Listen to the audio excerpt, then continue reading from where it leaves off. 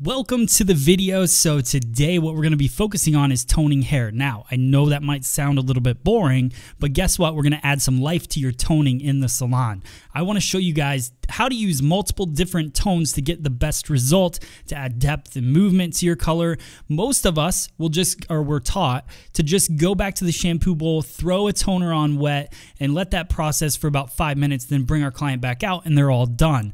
Well, I'm going to tell you guys right now that you're going to get a better result doing it the way that I'm talking about now, and you're also going to get a multi-dimensional result, which is going to add to not only your haircut, but the end result, uh, adding some depth and movement. So we're going to be focusing using the Paul Mitchell, the Demi, uh, the new 10 series. So they have all different uh, tones. Today, what I'm going to be using is the Level 10 PA, which is a pearl ash, also mixing that with Paul Mitchell uh, processing liquid, and then the 7N uh, from the Demi Paul Mitchell uh, with processing liquid as well. So I start off, the first section is with the 7N. Also know, guys, that when you're using a level 10 color, timing equals intensity. So the longer you leave this on, the more intense it's going to be. We're going to fully process this for 20 minutes um, on dry hair, so we're getting the maximum result. So notice I'm taking these big vertical straps. So what I'm doing is uh, I'm really adding a lot of definition. Also, um, let's say that this guest likes to add a little bit of curl or wave to her hair.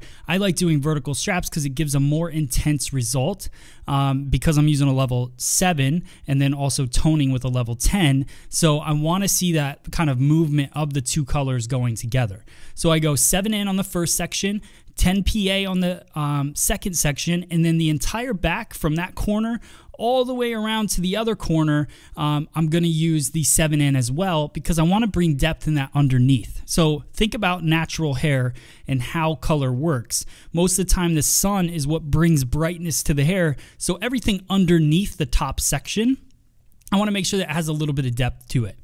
So all of this is going to be that 7N. Again, guys, this is like an additional technique. So after I blonde my guest, or if my guest is just coming in, she's extra blonde, wants to go down a little bit for the fall, she doesn't want to be as blonde, um, this is a great technique for that. So just being able to go in, add that depth, add the movement to the color. So now I go in, this is the 10 PA right behind the ear, and then I go 7N on the uh, front right around the face.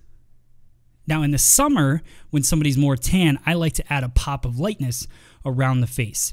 In the uh, fall winter time, when the tan starts to go away, I want to add a little bit of depth so they don't look washed out. So I go in with that 7N, a little bit of warmth in there, um, nice tone to it, and it brings that depth right back into around their face. So now on the very top, I'm going to take uh, diagonal slices and I'm just going to work my way alternating the colors. So I'm going 10 PA and then I go 7N and then I go 10 PA and then I go 7N and I just work my way across the top. And you're going to make that decision at the end uh, what tone you want. I'm going to go with the lighter tone, the 10 PA, because I do still want that brightness and it'll sit over top of that 7N that falls on the sides. So you can see I'm just working that color through. Now let's talk about the difference between uh, wet and dry toning. So if I put this on wet hair, I could still do it, still do a technique. And that's the thing, like just because your hair is wet doesn't mean you can't section it off and do a technique with it. Um, but you're gonna get a less intense result because the the dilution from the water is going to give you a less intense result. It's going to dilute the product um, and you're not going to have that intensity. Now, um, that doesn't mean it's wrong or bad because sometimes when somebody has really porous hair, you don't want to throw um, a level seven on dry hair because it'll go super dark, right? It'll soak it up. So you want to make sure that think about um, the porosity of the hair. If you need to spray any kind of like water on some certain parts or on the ends, you might want to do that. But then you're going to get the best result in the end.